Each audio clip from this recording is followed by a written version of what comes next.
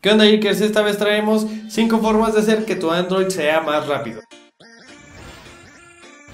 Nuestro tip número uno es la restauración de fábrica. Te dará la velocidad que tenías al comprarlo. Esto porque va a borrar todas tus aplicaciones, todos los datos que se hayan quedado de basura de aplicaciones antiguas que tú hayas instalado y al desinstalarlas cada aplicación te deja un poco residuos de datos que ocupan memoria, a veces se están ejecutando en segundo plano y esto ralentiza un poco el sistema. Recuerda que antes de hacerlo tienes que llevar a cabo una copia de seguridad. Esto es para no perder tus archivos Así que restauración de fábrica es nuestro primer tip.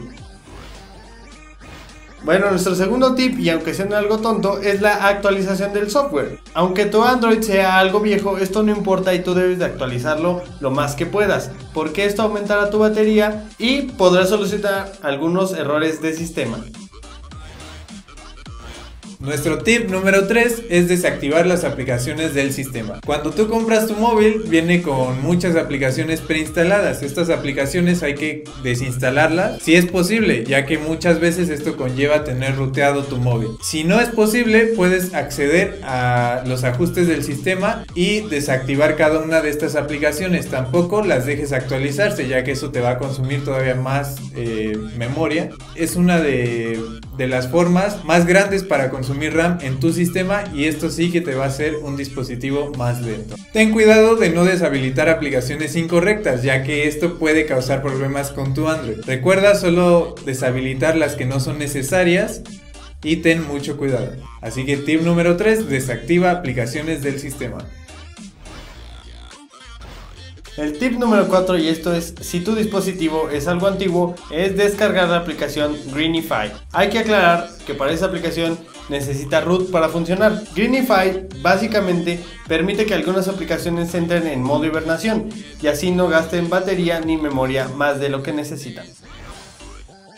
Para finalizar tenemos nuestro quinto tip que sería hacer root y flashar una custom ROM. Conlleva peligros también como demasiados beneficios. Tiene más beneficios que peligros, ya que esto se debe a cómo tú lo utilices. Una actualización de la ROM muchas veces te va a conllevar mejoras, ya que te desinstala todas las aplicaciones de la compañía, te da un sistema limpio en cero, un Android puro, dependiendo qué ROM instales, te puede actualizar el sistema o ponerte temas, instalarte aplicaciones diferentes, pero que siempre van a potencializar a tu Android. Esta es una opción recomendable si tú tienes los conocimientos técnicos para hacerlo. Todo esto conlleva, como lo dije, un peligro y siempre tienes que tener una copia de seguridad hecha antes de llevar a cabo todos estos procesos.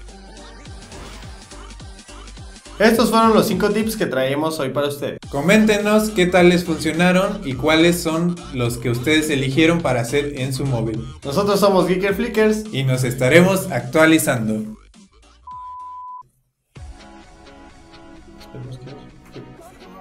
Esperemos que estos 5 tips les hayan funcionado. Nosotros somos Geeker Flickers. Y nos estaremos. ¿Qué, güey? Les funcionen, les funcionen. ¿Qué? ¿Qué? ¿Por qué? No, que iba a decir lo de que denos like, compartan. Ah, ok, ok, ok. ¿Qué Perdona. tal les funcionaron? Ok, entonces digo, ok. ¿Qué?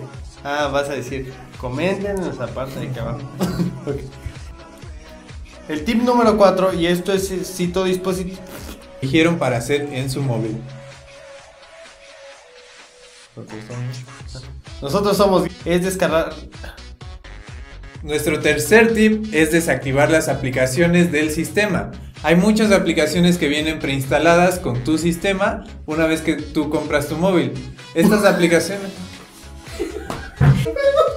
¿Qué, ¿Qué pasó? ¿Qué? Es que te quise hacer una maldad y me ganó. ¿Qué ibas a hacer? Le iba a bajar la pantalla para que no pudiera leerlo. No, no le estaban estrellando. y yo lentamente lo. Y cuando le empecé a bajar me ganó la risa. Eres un pillo. Es que, eh, espérate. Antes de que te. Antes de que. Tienes. ¡Ay!